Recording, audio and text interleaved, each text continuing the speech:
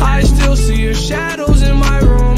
Can't take back the love that I gave you. It's to the point I love I Yo, what is going on everybody? It's Freshman Moses here back with another video coming at you guys with another 2K19 video. Today we're going to be talking about the new rebounding system slash mechanics in 2K19. So, Mike Wang tweeted on August 21st, he tweeted this big long thing, which basically turned out to be like a paragraph.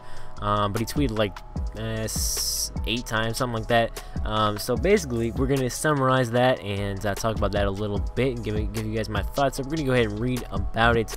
Um, I'm gonna sum it up for you as well. I'm not gonna gonna paraphrase a little bit. So, uh, message from your friendly neighborhood AI engineer who works on rebounding. This year, only decent rebounders can cover a lot of ground while jumping uh, to make up for rim bounds that did not go their way. So, if you're controlling a short guard with a low rebounding skill, it might be best to play here more like you'd respawn in real life to a rebound instead of immediately mashing the rebounding button, keeping uh, you should keep him on his feet and rush over to the ball once you see where it's headed. So basically trying to time it more and add a little bit of realism to the game in that sense. And now if your player is fast and the ball bounces long, you might be able to pick it up on the run.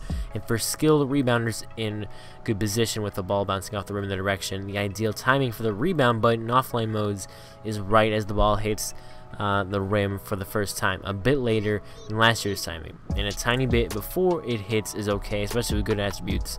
Uh, but if you try to jump way too early, you'll miss the ball quite regularly. So trying to make it put a little more skills gap in rebounding as well this this year.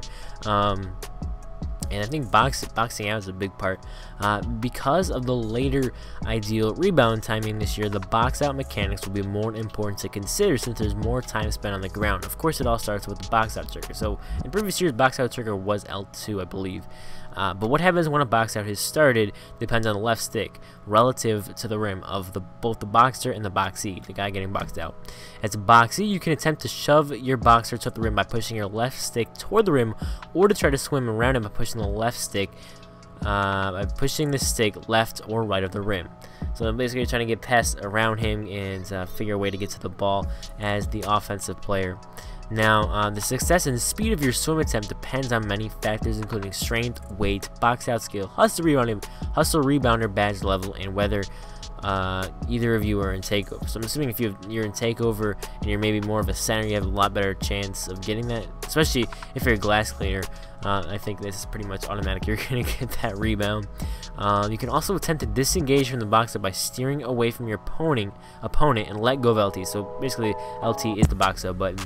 Uh, but a determined skilled boxer will be hard to avoid unless you just, unless you really just want to run away.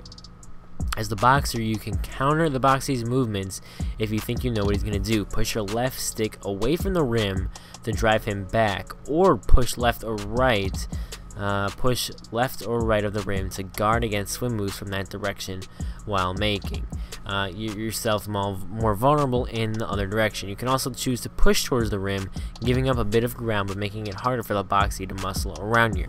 If you're not sure, zero out your stick and you'll get a balanced re resolution for all possibilities. So um, that is that's pretty crazy. Um, that's a lot of detail for uh, boxing out and if you're like a center and stuff and you're in your glass cleaner or rebound or whatever you can try to figure out and decipher all that basically here's my summary uh, you there's a lot there's rebounding mechanics does not just try to box out maybe a little bit and just smash the Y button or triangle whatever um, and try to get rebounds like that. You gotta actually put. They're trying to put skill into rebounding in 2K19. Now, how much skill there is in seeing where the ball is to go when you're in glass cleaner, I don't know about that, but um, there certainly is from for everybody else. It appears uh, that there's a lot of skill gap uh, for rebounding. So all that stuff adds to the game.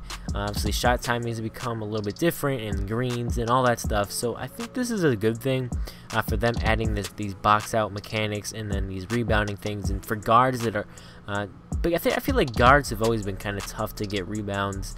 Um, but I mean, like think about Russell Westbrook, his his badge has to be pretty high for hustle rebounder, so they gotta let they gotta figure out a way to make Russ get a bunch of rebounds. Just, just I'm just thinking out loud, but um, I don't know. So that that that's some pretty crazy stuff for the new rebounding mechanics in NBA 2K19. So if you guys did enjoy this news video, and if you did, make sure you do leave, leave a like on this video and subscribe for more NBA 2K19 content. And I will see you guys in the next one. Make sure you leave your thoughts down below in the comment section about this rebounding uh, stuff, and I'll see you on the next one. Peace.